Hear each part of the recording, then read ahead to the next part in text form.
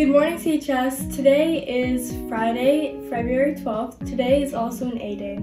If you would like, please stand for the virtual Pledge of Allegiance. I pledge allegiance to the flag of the United States of America and to the Republic for which it stands, one nation, under God, indivisible, with liberty and justice for all. GNN is back in action with a new episode airing every Friday. We would love to share any of your sports, club, or other announcements that you have for us. If you do want us to announce something for you, please make sure that you submit all announcements by Monday at 10 a.m. so that we can air them the following Friday. If you do want to submit an announcement, you can submit them at gnn at claytonschools.net. JSU or Jewish Student Union meets every Tuesday from 7 to 7:30 p.m. on Zoom. If you are interested in joining JSU, please contact Mr. Rochester, Ms. Falkoff, Joey Sparks, or Natalie Schuver for more information. And if you are interested in joining JSU and you want to know more about it, you can always go to their Instagram page at Clayton JSU where you can find Zoom information, find out who's in the group and who you can talk to about getting into the group, and other things that can be very important.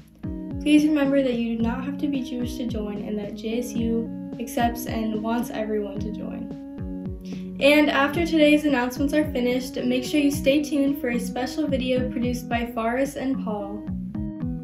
That is all for this morning's announcements, and now we move on to Eli to talk about the latest in CHS sports. Thanks, Saba. It was a big week in pro sports as Tom Brady won his seventh Super Bowl, most by any NFL quarterback, and the Cardinals sign Yadi for one more year. On a local front, the Clayton Greyhounds winter sports teams are wrapping up the regular seasons and headed into playoffs. Be sure to cheer them on at CHS Greyhounds underscore on Instagram. Happy birthday to all of those who celebrated earlier this week. Gracia Benjamin, Jiley Deck, Joelle Ireland, Keaton Kubat, Scott McCary, Emma Rain, Ryan Rossini, John Smith, Chloe Wolf, and GNN's own Anme Deck and Liv Tennell. And now we go to Nima for some comedy. Okay, yes.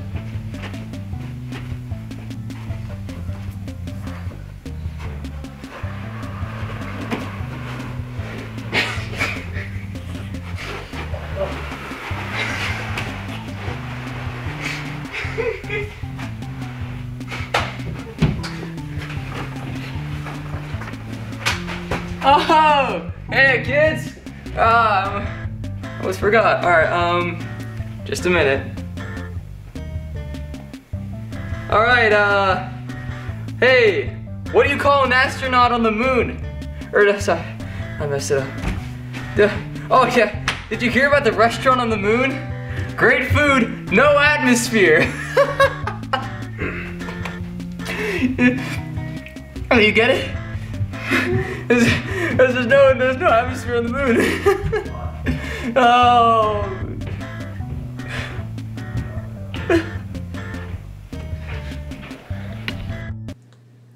And now, here's a special video produced by Ferris and Paul.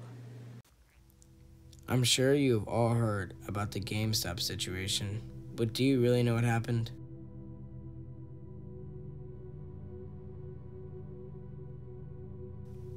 First, we should talk about what a stock is. A stock is all the shares of a company into which ownership of the company is divided. A share represents a fractional ownership of the company in relation to all of the shares. The terms stock and shares are used interchangeably.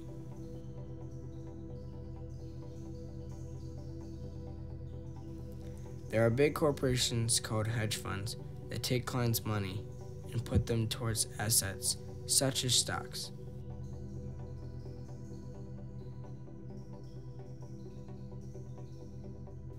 The tactic they used in this incident was short selling, which is when they predict a stock share price is going to go down when it still has some value and is at a higher price.